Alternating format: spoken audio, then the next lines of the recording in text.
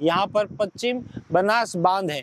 आप इस बाँध को देखिए इसमें जिस एक बारिश से पानी आया है आ, उसको आप जहाँ तक नज़रें जा रही है वहाँ तक आपको पानी ही पानी नज़र आएगा। इसमें सात साल में एक जीवन एक साल में सात साल में एक इंसान को लेता है और कहते हैं ना कि ये पानी भोग लेता है। वो ऐसे लापरवाह लोगों का भोग लेता है। नमस्कार मैं महावीर सिंह। पिछले दिनों जो बिपरजोय तूफ़ान आया था उस तूफ़ान ने कई जगह तबाही मचाई और कई जगह और बहुत ही अच्छे परिणाम मिले। हम अभी माउंट आबू गए हुए थे और वापिस जा रहे थे। स्वरूपगंज के पास यहाँ पर पश्चिम बनास बाँध है। आप इस बाँध को देखिए इसमें जिस एक बारिश से पानी आया है अ, उसको आप जहाँ तक नज़रें जा रही है वहाँ तक आपको पानी ही पानी नज़र आएगा। यह पूरा जो बाँध है वो पूरा पानी से भर गया है। अब यहाँ पर लोग देखने के लिए आ रहे हैं और यहाँ पर एक तरह से, यूँ मान लीजिए कि आने जाने वाले वाहन यहाँ रुकते हैं, वाहन चालक और इस बाँध को देखते हैं।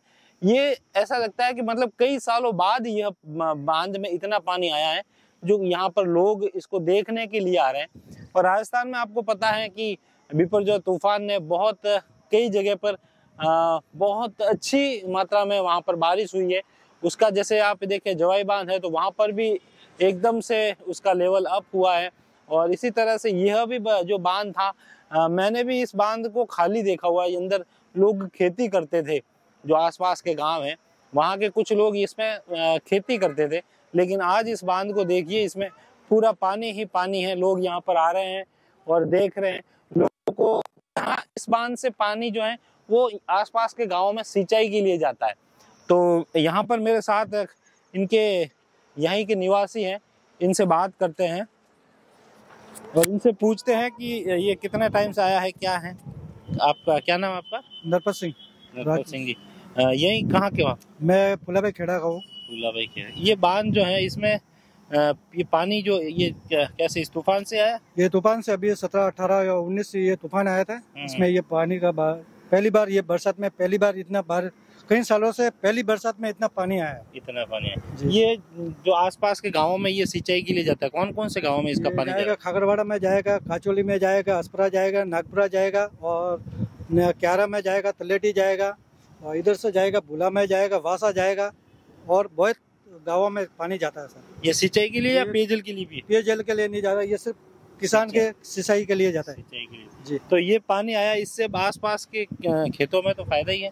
बहुत फ़ायदा है सर। लोग यहाँ पे मतलब पहले इतना इसको देखने आते थे क्या? नहीं ये पहली बार ये पहली बरसात में इतना पानी आया इसके लिए पहली बार लोग इतने देखने आते हैं। देखने के लिए आ रहे हैं। और यहाँ पर जो आज आज जा रहे हैं वो रास्ते में वो भी आ रहे हैं? वो भी रुकते रुकते आपके गाँव वाले भी तो देखने आए होंगे? कई कई लोग आए हुए हैं सर। कई लोग। माउंट आबू से भी आते हैं यहाँ देखने के लिए सर। अच्छा। ये वहाँ आगे ये जो है इसकी पूरी सीमा ये कहाँ तक है? ये बहुत लंबी है फिर आगे तक है सर। यहाँ से देखो आगे नज़र नज़र भी नहीं पहुँचती सर। वहाँ तक है सर। ये पूरे इस एरिया का बड़ा बाँध है? हाँ, ये सबसे सिरोई में ये सबसे बड़ा बाँध है। सिरोही का बड़ा बाँध बनास बाँध है।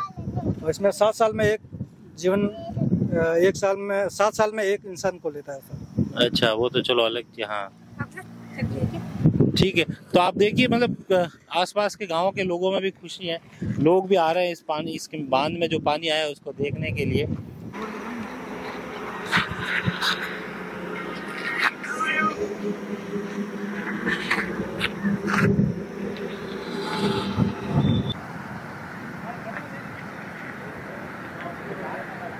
यह जल संसाधन विभाग की ओर से और आप देखिए इसमें स्टोरेज कैपेसिटी 1380 एमसी फिट है। और लाइन कैपेसिटी है 1280 MC feet, dead storage capacity है 100 एमसी फीट। जहाँ तक नज़रें जा रही हैं, वहाँ तक आपको पानी ही पानी नज़र आ रहा है। और पहली बारिश में इतना पानी, एक ही बारिश में इतनी इस तरीके से बाँध का लबालब होना वाकई लोगों के लिए खुशी की बात है। लोग यहाँ देखने आ रहे हैं इस बाँध को।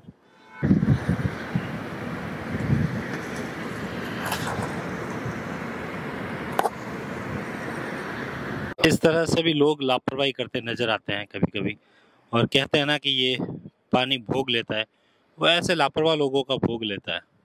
देखिए कितनी लापरवाही कर रहे हैं, पूरी बाँध के बिल्कुल आगे तक गए हैं और अगर पैर स्लिप हुआ तो सीधा अंदर जाएँगे।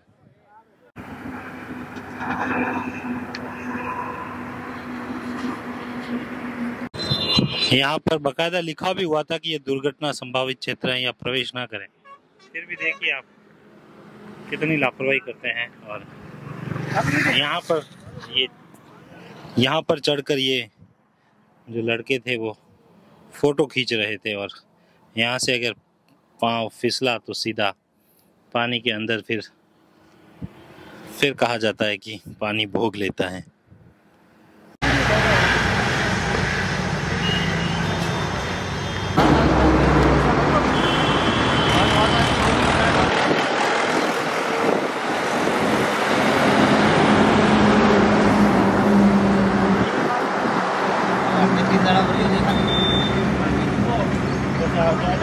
बैठ